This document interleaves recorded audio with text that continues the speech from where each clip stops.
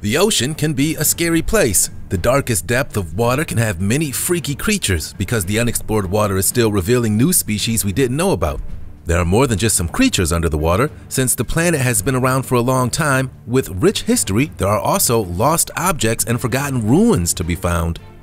With new technology and with more people learning how to dive, we have been able to record what lurks below in the vast bodies of water yet explored.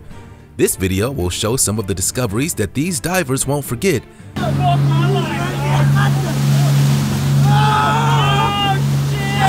From whales chasing a boat to a creepy tank graveyard.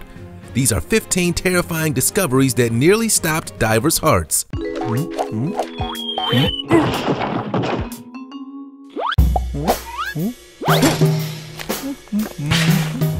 Horror movie Madman if you ever went diving in this lake, hopefully you know about the secret that lurks at the bottom. If you've ever seen one of the many Friday the 13th films, the sight would scare you at first, but then you would realize that it has to be fake. An artist decided to make a replica of Jason Voorhees, which, if you don't know, is a villain from the famous horror film Friday the 13th, where a killer with a scary old hockey mask stalks camp counselors. Imagine diving and swimming up to this in the dark waters. At first, most people would think this might be a deceased body, which could scare anyone. This underwater statue was located in Crosby, Minnesota, and most divers would find out this exists before going into the lake so most divers won't have to worry about freaking out. Let's just hope the divers who do run into this freaky villain don't have a heart attack. Now hmm. let's get ready for hmm. today's missing topic. And now it's time for our missing topic. We found this picture with a diver running into what looks like a dinosaur or the Loch Ness Monster. Do you believe in the Loch Ness? Maybe after looking at this photo it'll change your mind. There are three possible explanations for this scary image. One is that the creature is a species yet discovered, which seems more plausible than it is the legendary Loch Ness, which would be the second option. Since the Loch Ness has never been confirmed it actually exists, we think it's the third explanation, which is that most likely this is a Photoshop or picture edit because the realism of the beast is not very realistic looking. Also, how would this photo be taken and recovered with such a large creature coming toward the divers? What do you think? You can join the conversation by using the hashtag missing topic in the comments section below. Hey, hey, did you know that if you smash the like button, subscribe, and click the notification bell, you're more likely to win the lottery? So what are you waiting for? Ocean Vortex. Being a diver can be dangerous if you're not careful, and you should be a decent swimmer as well, because being caught in a vortex does not look fun. This group of divers were caught in a vortex current, which is an underwater current that runs parallel to the surface of the water. These don't appear often, and not much is known about them since only a few dive sites have them around the entire world. The only advice to escape these is to remain calm and attempt to swim out of it perpendicularly how many people could remain calm while being in one of these is quite questionable. Seems like that would be hard to accomplish. These are professional divers and had help in case they couldn't get out, but all of them made it out okay and moved on with the rest of their diving. The whirlpools on average last up to 198 days, which means you have to swim out or you would be in big trouble. But the chance of swimming into one of these is very unlikely, so don't be too afraid. Diving under a freightliner. Just watching this video was enough to stop hearts. Diving in busy waters can be dangerous as this footage proves. In the St. Clair River in central Northern America, a diver is swimming near the bottom and looks up seeing a massive black shape moving towards him. This would freak out a lot of folks who would think that it could be a shark or maybe a big fish. However, this was a ship. Some ships have big motors and this one started to hurtle towards him. Seeing the large propeller coming towards him must have caused a huge adrenaline rush as moving any closer would be a disaster. He safely stays low and lets the huge ship pass and his heart rate finally can go down from that moment he'll never forget. If he lost his grip or made any kind of panic decision, it could have cost him his life or a limb. Talk about a scary situation.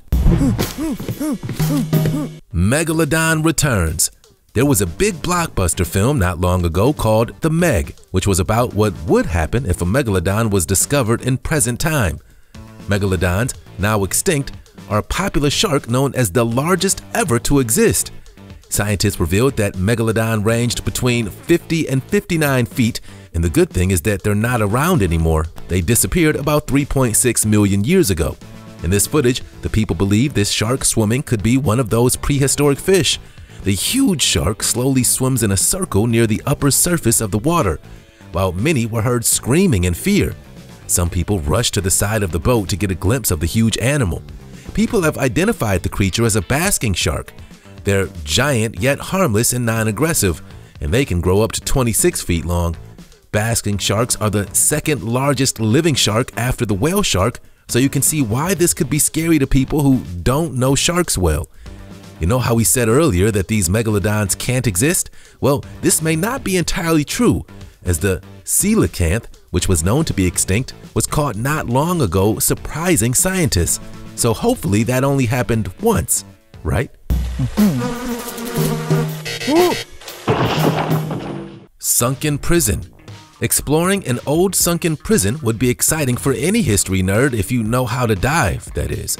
This old Soviet Union prison was abandoned in 1991 as the USSR was failing. It was built on the lip of a limestone quarry in which the inmates were forced to work. Without anyone to look after the groundwater that seeped into the former quarry, it soon filled up with water, creating a new lake. It still can be seen from land, but lots of it is still underwater and has many gorgeous ruins to look at beneath the clear waters. It's near a popular beach and tourist spot and many locals hang around this area with many people diving below to view the rich history. The area even has a nickname, the Blue Lagoon. You can see old mining equipment, machinery, barbed wire, brick walls, and prison cells that make for an interesting swim.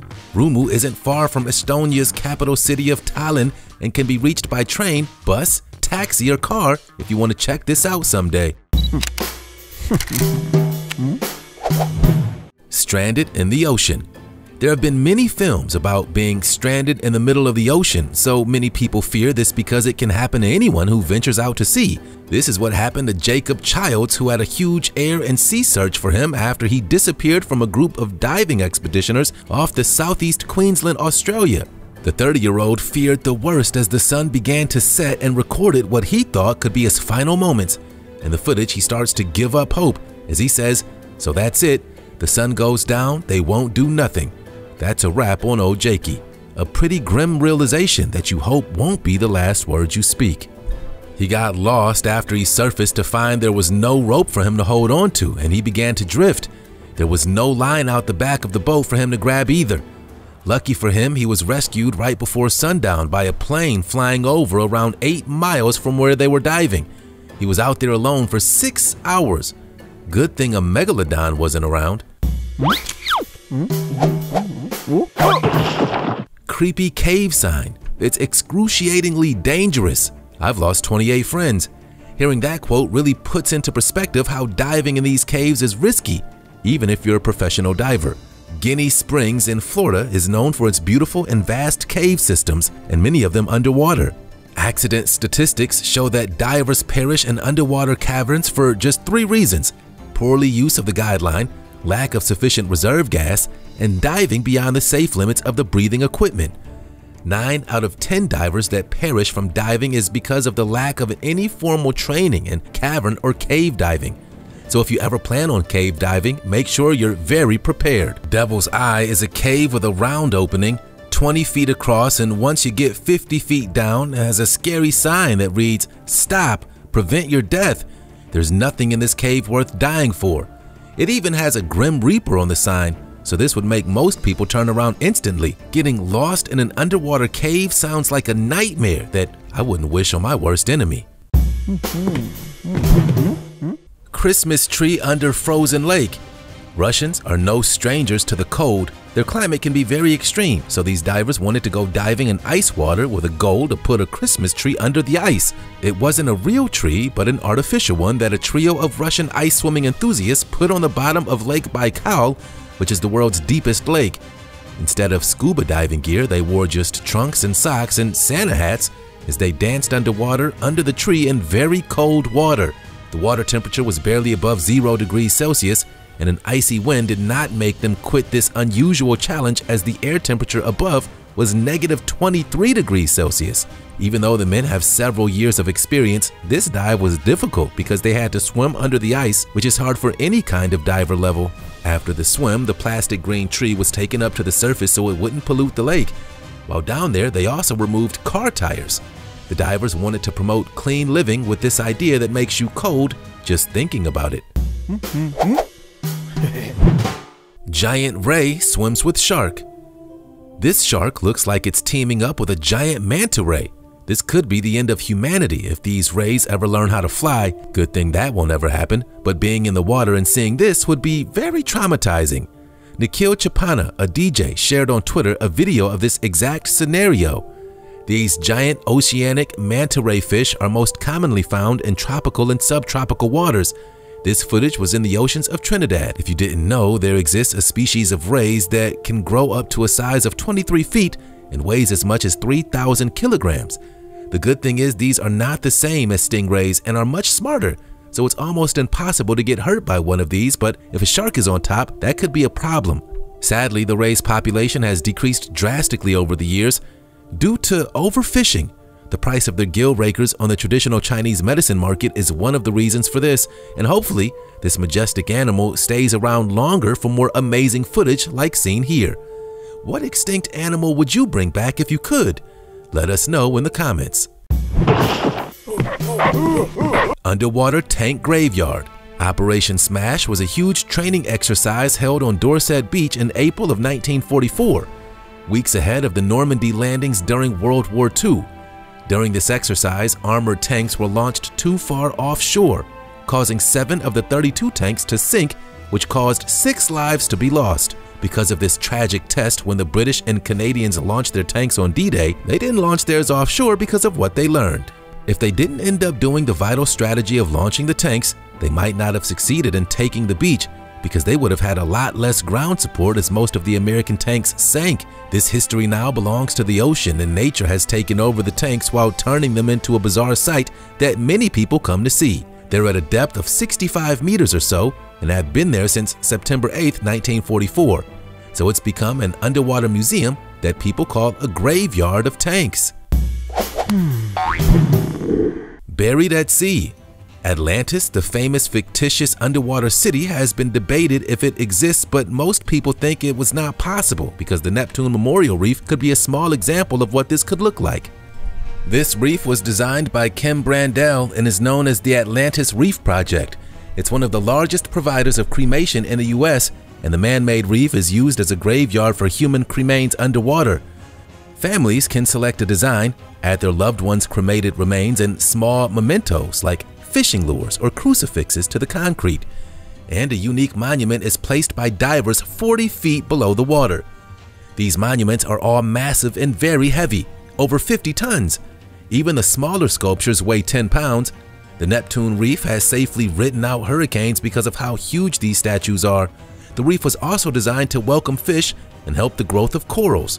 Since 2007, the reef has attracted 56 species of fish and the ecosystem has developed faster than everyone thought. If you discovered something like this while diving, it would be a surreal experience. But this place is popular and located off the coast of Miami, Florida, so you wouldn't run into this place accidentally. Jacob's Well. Jumping into water below is an activity when done safely can be very fun, but when you don't know the area or are unprepared, this can turn into a life-threatening situation. At least nine people have been killed diving into Jacob's Well, which is a spring that extends for over a mile below the surface into an intricate cave system. The amount of accidents has prompted some people to call it one of the most dangerous diving spots in the world. It has four caves deep in the well some with openings so narrow that divers have to remove their tanks to get through. What makes these caves even scarier is this story from one of the divers who recovered one of the bodies, recalling, You couldn't tell up from down, left from right. You couldn't see your gauges. You were scraping the bottom and banging your tanks on the top. You had nothing to fall back on except your training. They were relieved to escape with their lives as this was not an easy task. These stories don't scare tourists easily though. Many people ignore the rules and dive straight into the current. That being said, if you're looking for a nice place to visit, Jacob's Wells is a sweet spot, but be careful, follow the rules and avoid the caves you shouldn't dive in unless you're with a professional. Killer whales chase boat.